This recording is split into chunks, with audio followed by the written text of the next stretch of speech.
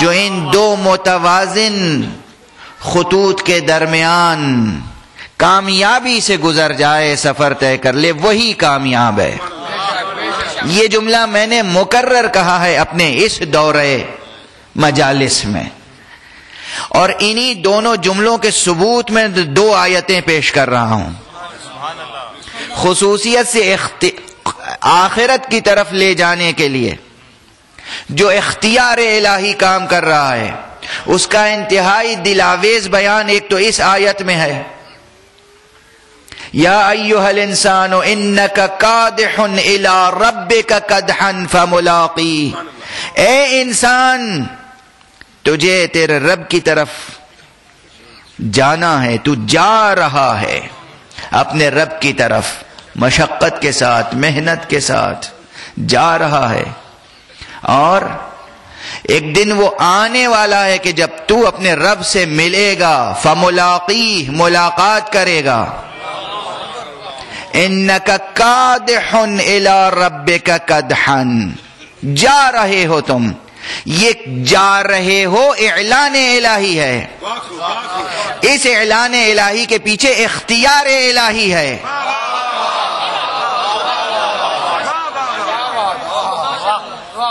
हिकमत इलाही है। हिकमत तकवीन है। निज़ाम तकवीन ऐसा बनाया गया कि जो यहाँ आया है, उसे गुजरना है और पहुँचना है और जाना है उस मंजिल तक।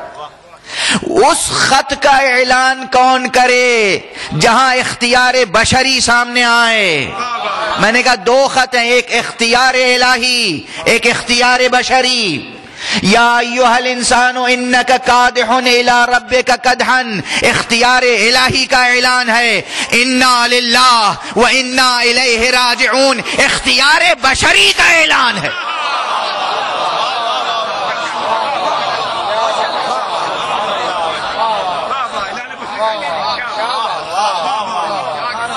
ये हुसन इख्तियार बशर है। हम तो उसके हैं। और उसी की तरफ़ जा रहे हैं। क्या तराना है, क्या जमजमा है, क्या नशीद है। यह आहंग हयात है। इसमें शिकवा नहीं है, गिला नहीं है, शिकायत नहीं है, नाला नहीं है, नौहा नहीं है। बल्कि एक अजीब हुसन इख्तियार, अजीब निशात सफ़र का ऐलान है। हम तो उसी के हैं और उसी की तरफ़ जा रहे हैं। इन्ना व इन्ना इलैहि राजिऊन। वो इख्तियार इलाही है, या अय्युहल इंसान, इन्नका कादिहुन इला रब्बिका कदहन फमुलाकी। ये इख्तियार बशरी है। दो इख्तियार। वाज है। अपने इख्तियार से इंसान गाफिल ना रहे। अपने अंजाम से इंसान गाफिल ना रहे। पहुँचना है जिस मंजिल पर, वहाँ शौक से पहुँचे, जौक से पहुँचे, तैयारी से पहुँचे, आमादगी से पहुँचे, पहुँचने से पहले उस मंजिल को सजा ले तब पहुँचे।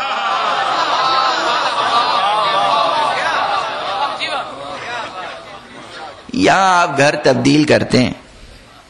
एक घर में रह रहे हैं। वो घर आपकी ज़रूरतों के लिए कम पड़ गया, छोटा पड़ गया, आपने दूसरा मकान ले लिया। आप उसमें यूँ ही मुंतकिल हो जाते हैं। पहले मकान खरीद लेते हैं, फिर मकान को सजाते हैं, संवारते हैं। तमाम ज़रूरियात वहाँ जब पूरी हो जाती हैं, सारा इंटीरियर डेकोरेशन पूरा हो जाता है। सब कुछ जब आमादा हो जाता है, तब आप उसमें कदम रखते हैं। वो दार आखिरत मकान बन के तैयार हो गया है, लेकिन उसमें कुछ इंटीरियर डेकोरेशन करना है। जन्नत तैयार है। जन्नत तैयार है। मैंने अर्ज़ कर, जन्नत तैयार है, मकान तैयार है। मगर जाना है तो जाने के लिए कुछ अपने जौक के मुताबिक।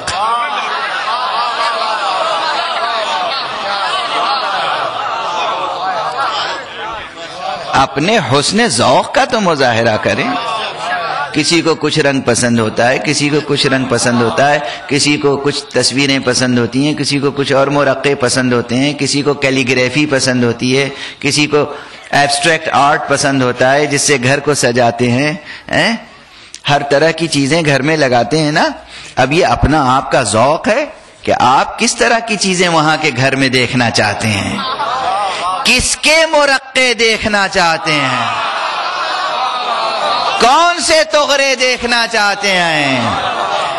या क्या आप नहीं चाहते कहीं आयत तथहीर का तोगरा लगा हो? कहीं आय मवद्दत का तोगरा लगा हुआ हो? कहीं आए विलायत का तोगरा लगा हुआ हो? कहीं हमद इलाही हो? कहीं नाते पैगंबर हो? कहीं मनकबत मासूम हो? नहीं चाहते आप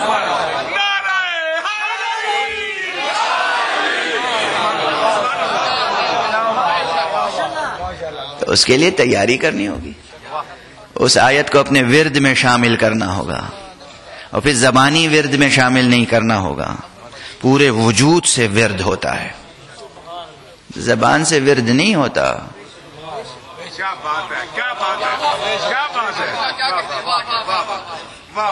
जबान से विरद नहीं होता। पूरे वजूद से विरद होता है। जो जुमला जबान पर हो, वही जहन में हो। वही दिल में हो। उसी जुमले की मानवीयत और नूरानियत पूरे वजूद में जारी हो, सारी हो। उसी जुमले की फजा वजूद पे तारी हो। तब विरद होता है। मैं वो बाब नहीं खोलना चाहता। वो सब अलामतें आमिल हजरात के पास जब आप जाते होंगे तो वो कहते हैं, ये आयत पढ़ो। आयत पढ़ने से पहले एक हिसार खींचो। और आप ज़मीन पे हिसार खींच देते हैं। सुबहान अल्लाह वो आमिल भी सुबहान अल्लाह ये अमल भी सुबहान अल्लाह हिसार अपने वजूद के गिर्द होता है। हिसार होता है एक फजा मुतन करने के लिए। कि जो ज़िक्र इलाही, जो विरद इलाही है, वो पूरी फजा उससे मामूर मुअत्तर हो। अंदर से बाहर तक आप मुकम्मल अपने पूरे वजूद से विरद करें। मालूम है जन्नत के दर्जात कितने? जन्नत के मरातिब कितने? मासूम ने बताया है, आठ दरवाजे हैं जन्नत के। जन्नत के आठ दरवाजे हैं, बाज रिवायतों में इसका तस्करा है। लेकिन जन्नत के मरातब कितने? कहते हैं, जितनी कुरान की आयतें हैं, उतने दराजात हैं। और वहाँ दर्जे की बुलंदी के लिए बस एक इख्तियार दिया जाएगा। आवाज़ आएगी एकरा वर्का। एकरा वर्का। एकरा पढ़ो, वर्का बुलंद हो।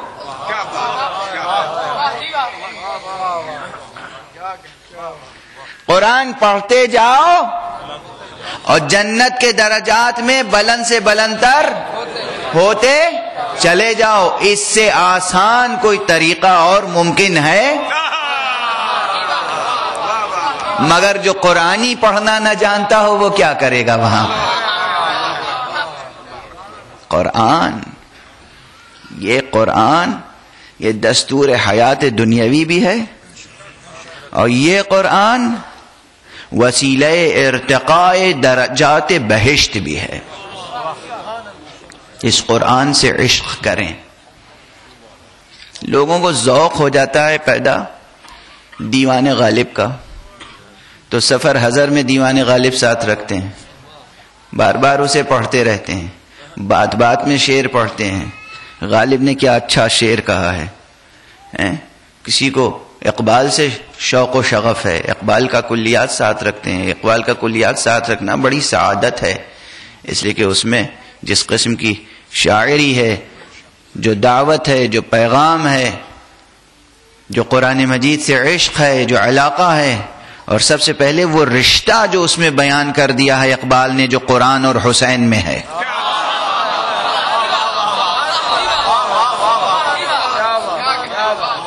ये इकबाली का मिसरा है ना, रमज कुरान अज हुसैन आमोख्तीम रमज कुरान तो हमने हुसैन से सीखा है।